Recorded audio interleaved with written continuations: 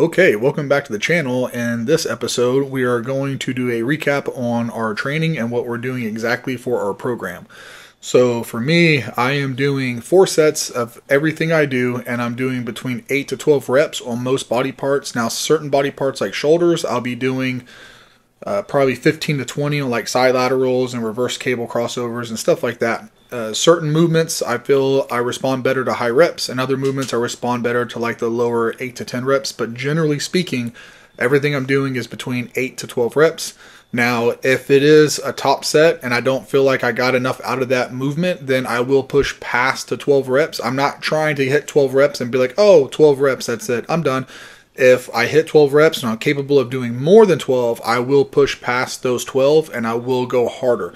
Now, depending on how my fatigue is and how much I'm eating, that depends and that varies. But as of right now, that's the way the training is going. Yeah. So for me, basically the same. Uh, like we're basically continuing like we were doing last 12 week session, just with a new 12 weeks. To, except for you doing more of a bulk, me I'm continuing my weight loss kind of journey, I would say.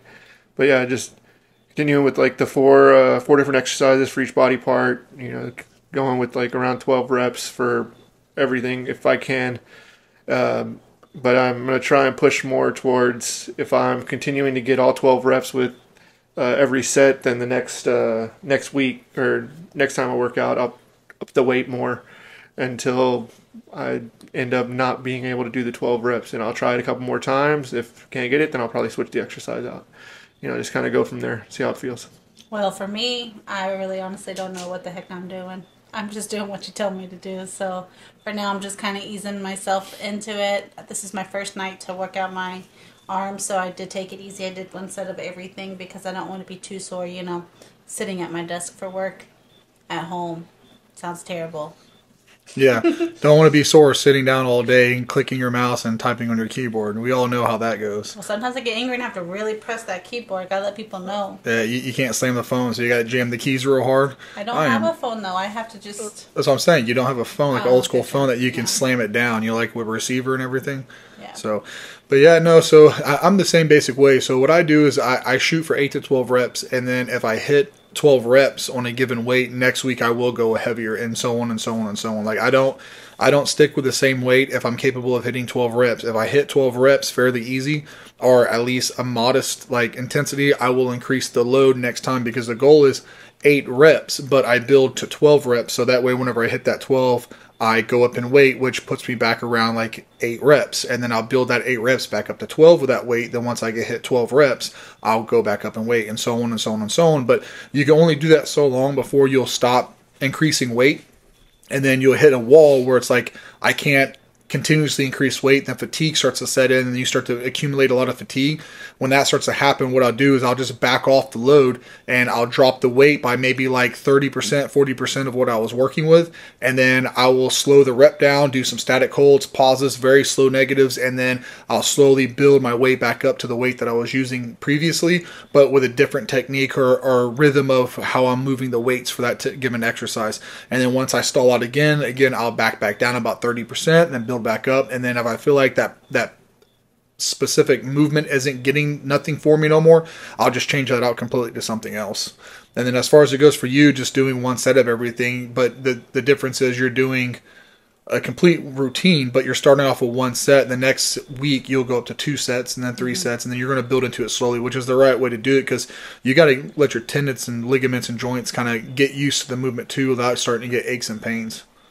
Yeah, and for me, like with just the like it's I know it's only day two of this uh, 12 weeks right here, but like with the increase in the food and everything, it is nice having like the extra energy in general, like the extra fuel while I'm in there, like uh, not having to to gas out, which again could just be because just came off the week off and everything, but uh, just being in there right now and and having like just full energy to to just kind of push through and like really exert yourself. It, it's nice. Did you up your food or what? Because I know you said that you have more energy. Did you put like yeah. eat more now? Yeah, like I I moved my calories last 12 weeks pretty much the entire time. I did like around 13 to 1500 calories a day.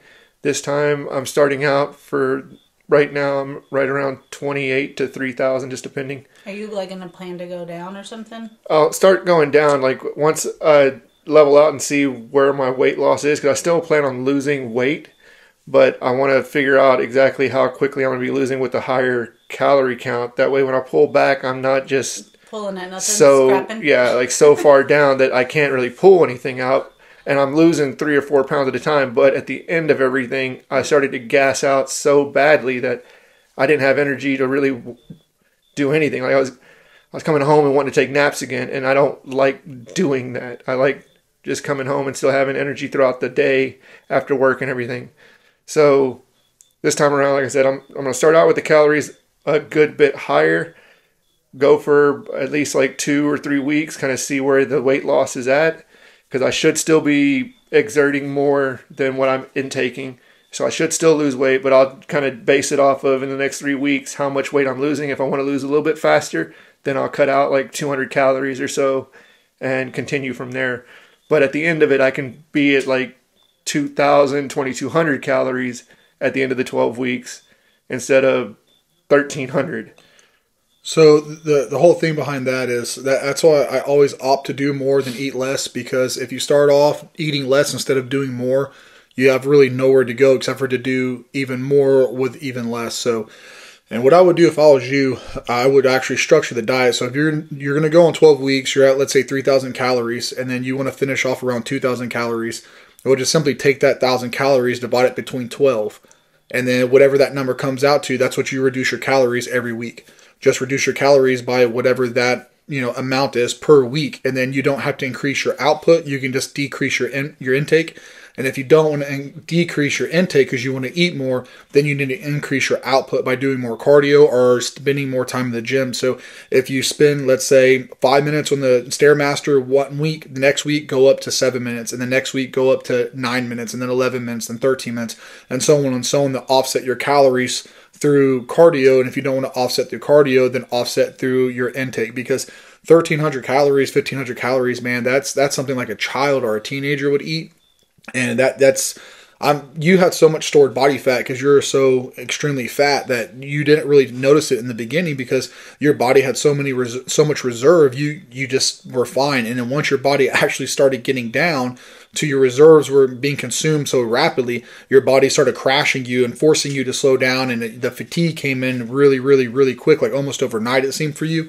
And that's just because like your body finally hit that point where it's just like okay no, we're in famine and we're not getting enough food to sustain our our our size and our activity so we got to slow him down or we're going to die.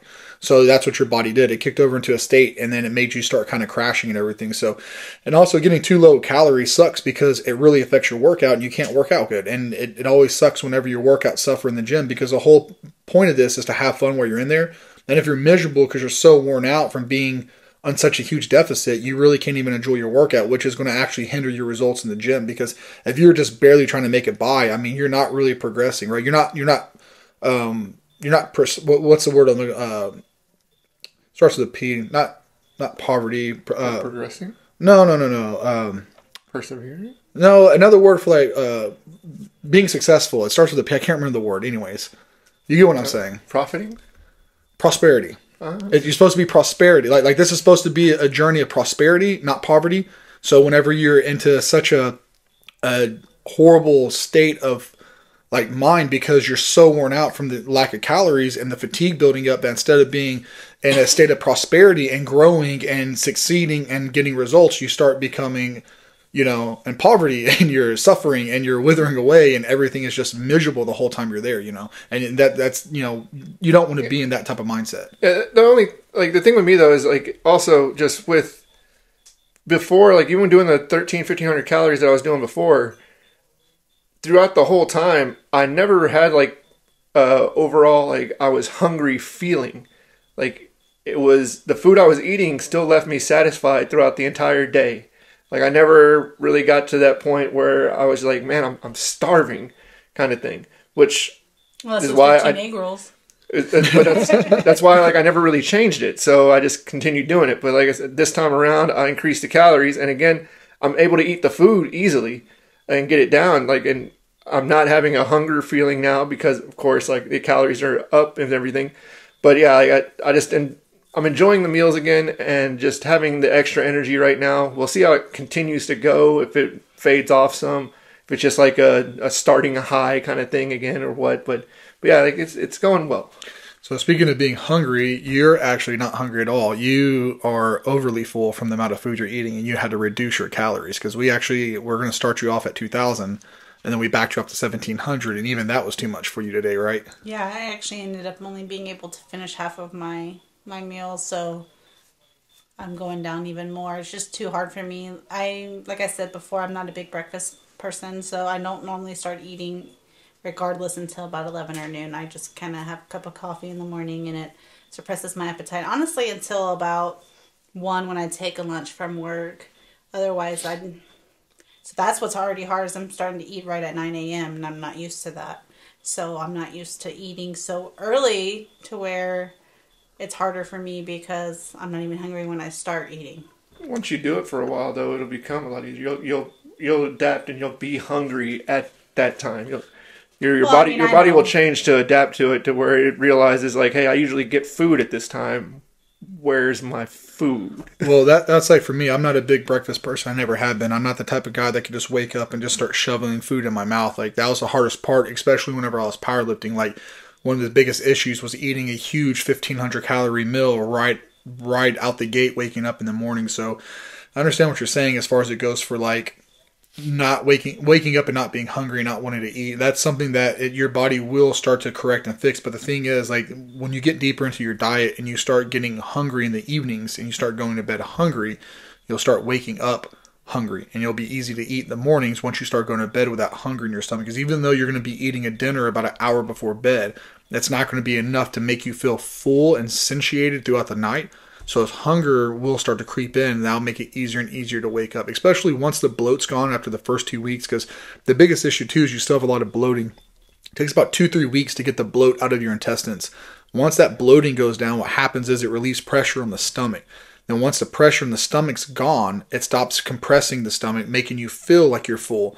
And then you can actually feel how empty your stomach is. And then that's going to allow you to be able to eat right out the gate because you're not going to have uh, gastro distress from the bloating and swelling of your intestines, which will make it easier to eat your food because your body's going to be digesting properly and it's going to make it easier to absorb it. And that's that's the kicker whenever I was powerlifting is I ate so much food that bloated me and it made me so just miserable, but it was just part of it and I just had to get it all down. But you'll I mean you'll get there after about two, three weeks. But so, you know. So what you're saying is I'm gonna be skinny in two weeks? you'll lose probably an inch, inch and a half more on your waistline, if not two, within the first two to three weeks. That's what most people don't realize is once you, the first two to three weeks, you're not losing fat, you're losing water weight. Uh, speaking of weight, I weighed myself this morning. I'm down four pounds. I was 238 yesterday. This morning I'm 234. I, I lost four pounds of water overnight. And the first two weeks, you're losing water. You're losing stool inside your stomach, like like food waste inside your stomach. You're losing water weight, water retention, inflammation and then you're losing a lot of bloating in your intestines, which is causing your stomach to come down a lot. And that's what you're going to experience the first two weeks. And after that's normally whenever you really start to lose the fat. But you know this. You've been through this and you've been married right. to me for years. So. Right. Have I? Not. yeah. No, but what I'm noticing too, I know it's only day two, but I'm just noticing after I eat, I'm not sluggish. I'm not tired like I was before eating whatever I wanted, like pizza rolls and you know, dumplings and all the good stuff that I like to eat. So and cheese sandwiches and hot pockets and ice cream. And... Right. I mean, it's just so simple, just to throw something in the air fryer, continue working, and then when it's done, I'll take my lunch. That way, I didn't miss time on actually cooking anything. That is what I was saying is a benefit that I do meal prep now. So I it kind of feels the same. My food's already ready. All I have to do is heat it up. But I do feel better. Like I used to be so tired during the day at work and um, I'm not, and I'm still able to stay up at night and and watch my TikTok. Yeah, your TikTok and play your Monopoly. Don't don't act like the majority of your night doesn't go to playing Monopoly. Well, not that long because I don't have a lot of dice.